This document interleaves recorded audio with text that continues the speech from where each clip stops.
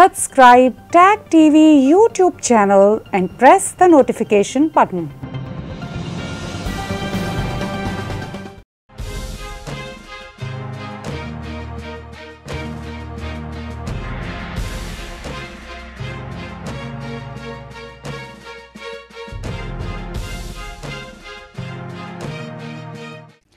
Good evening. Welcome to South Asia Newsline. I'm Yeshi Chanzo.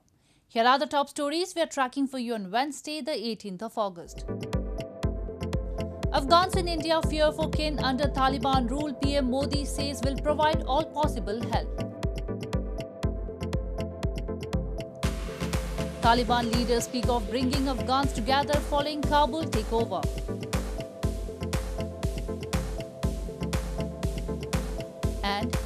CPN UML formally splits Madhav Kumar Nepal led faction registering new party.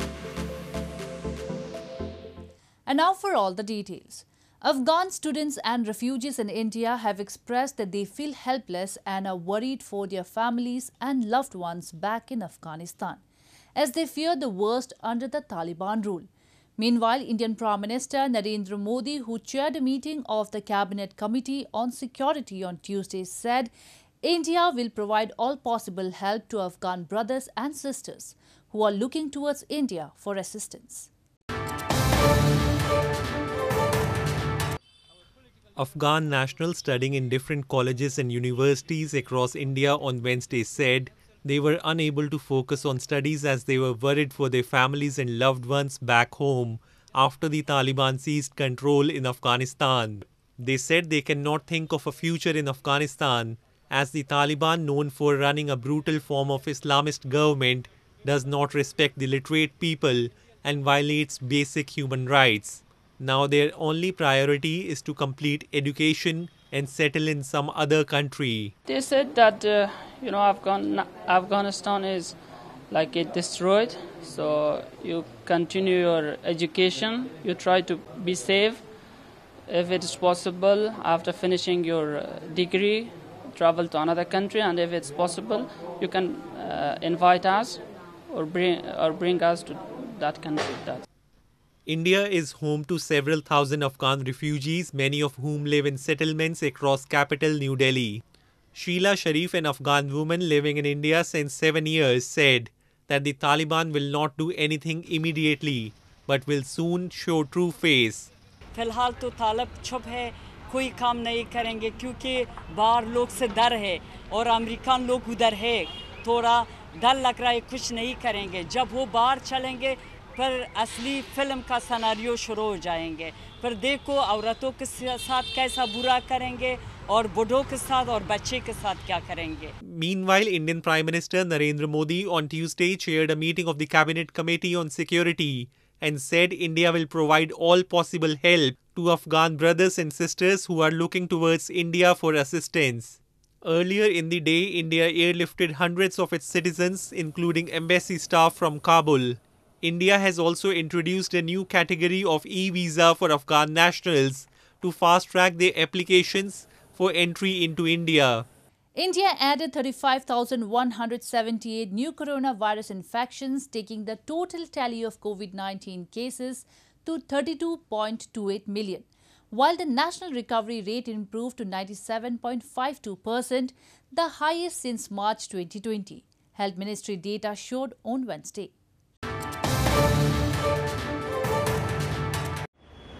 India added 35,178 new coronavirus infections, taking the total tally of COVID 19 cases to 32.28 million on Wednesday, while the national recovery rate improved to 97.52%, the highest since March 2020. The active cases declined to 367,415, the lowest in 148 days, and comprise 1.14% of the total infections, the lowest since March 2020, the ministry said. The death toll climbed to 432,519 with 442 fresh fatalities. Cumulatively, 560 million COVID 19 vaccine doses have been administered under the nationwide vaccination drive so far. Earlier on Tuesday, India's Health Minister Mansukh Mandavia visited Assam to review the COVID 19 surge in the northeastern states, which are contributing a significant portion of the new infections after Kerala, which is contributing half the load. Mandavia said that the centre has sanctioned a COVID 19 response package of rupees 23,000 crore for states across the country to combat the pandemic. Of this, a package of rupees 1,352.92 crore has been sanctioned for the eight northeastern states. In news from Afghanistan, streets in Kabul appeared calm on Wednesday after the Taliban seized the Afghan capital, with people out walking and traffic moving. On Tuesday, the Afghan Taliban held its first press conference since taking control of Kabul and said that it wants no enemies and intends to form an inclusive government following which evacuations from the country gathered momentum.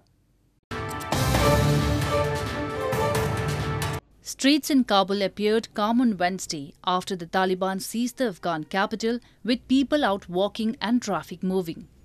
Armed Taliban militants continued to patrol the streets of Kabul on Wednesday.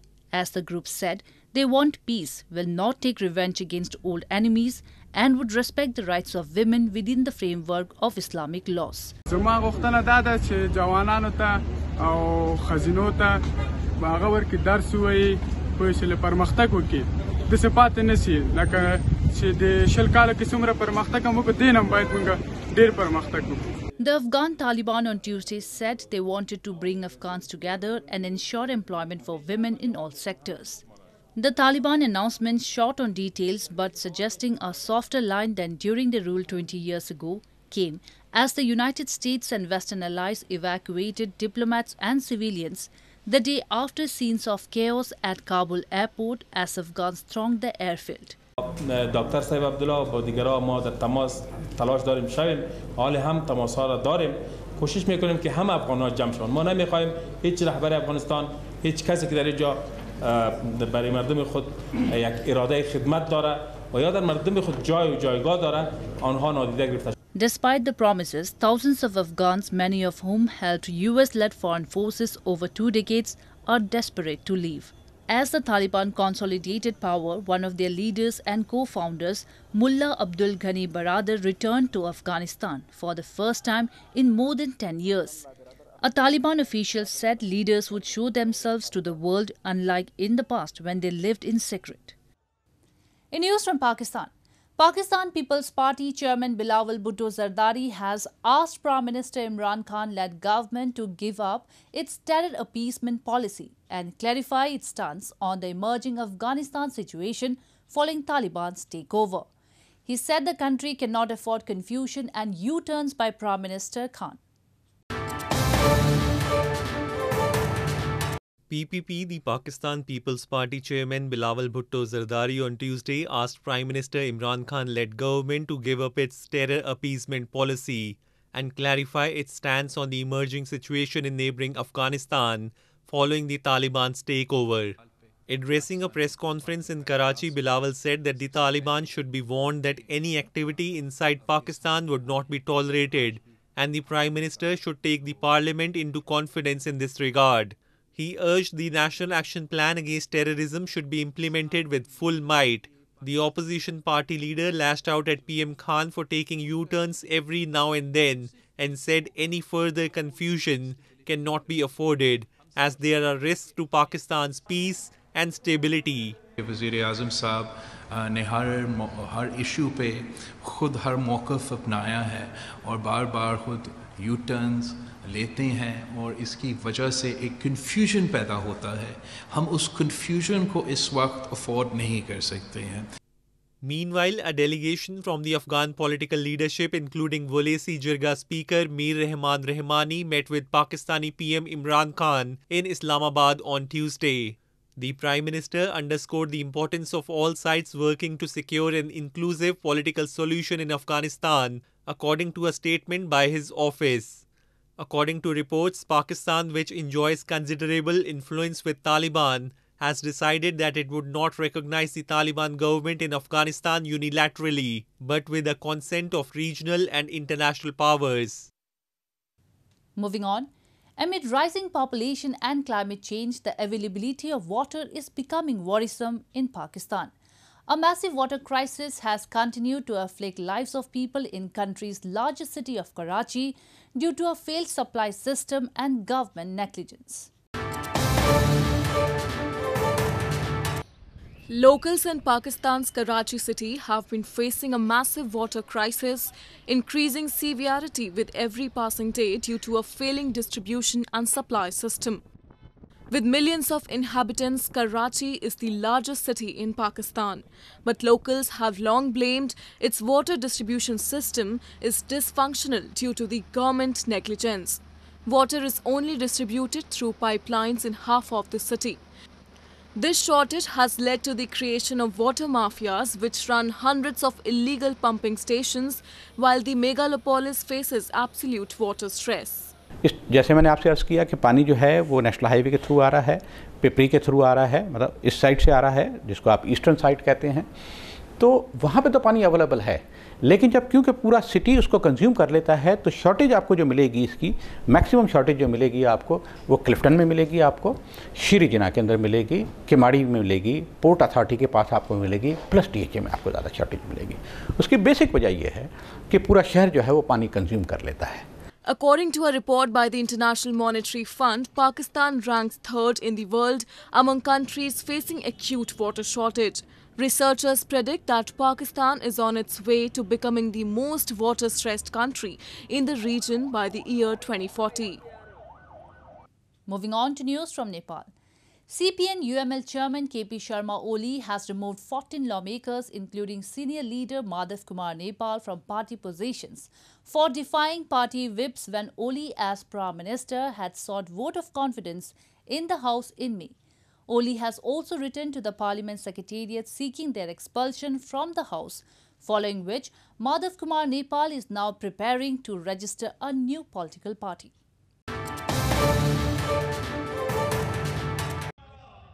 The CPN UML Communist Party of Nepal Unified Marxist Leninist fell into crisis after party chairman KP Sharma Oli on Tuesday recommended action against 14 lawmakers by removing them from the party, including senior leader Madhav Kumar Nepal.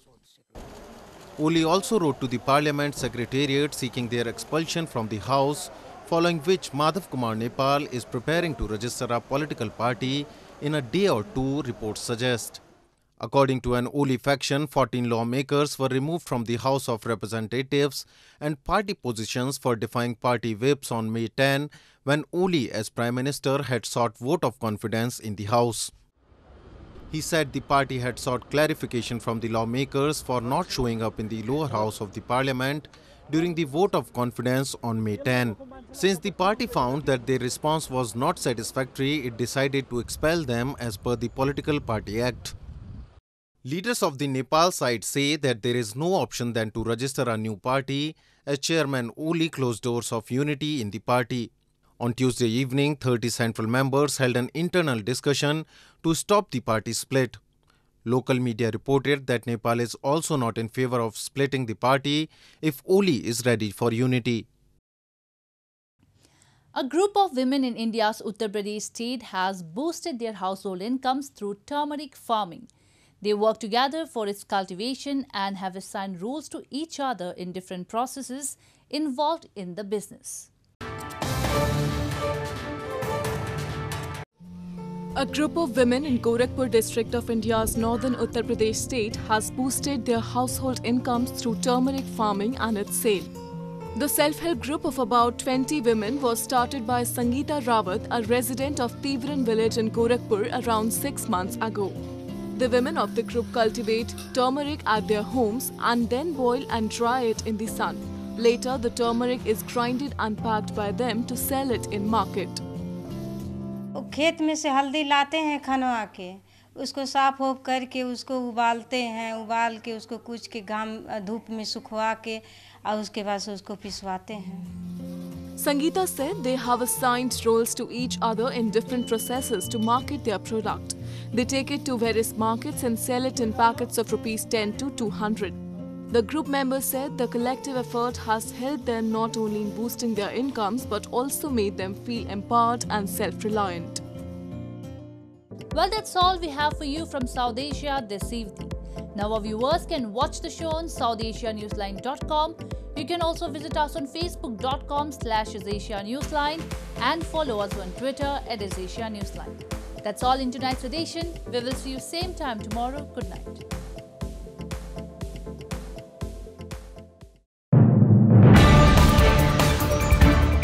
Tag TV brings you daily news bulletin from India. Breaking news and views from India.